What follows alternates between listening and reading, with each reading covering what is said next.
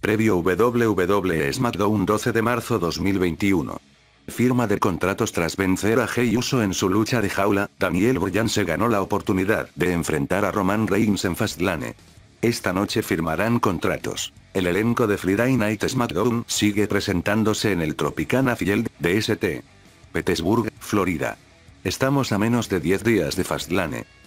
La semana pasada, las luchas presentadas fueron, King Corbin venció a Montez Ford, Angelo Dawkins venció a Sami Zayn, Dominic Mysterio venció a Chad Gable, Bianca Belair venció a Shayna Baszler, Césaro venció a Murphy, Jaula, Daniel Bryan venció a Jey Uso. Esta noche en SmackDown, conforme nos acercamos a Fastlane, el cartel comienza a tomar forma.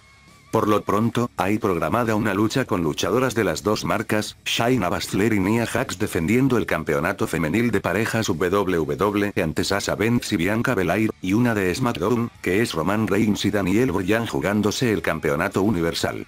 Y antes de que se enfrenten el 21 de marzo, Reigns y Bryan firmarán su contrato esta noche. Veremos también el regreso de Big E el campeón intercontinental estuvo tres semanas fuera después de que fuera lesionado por Apollo Creus, quien ha abrazado su lado rudo.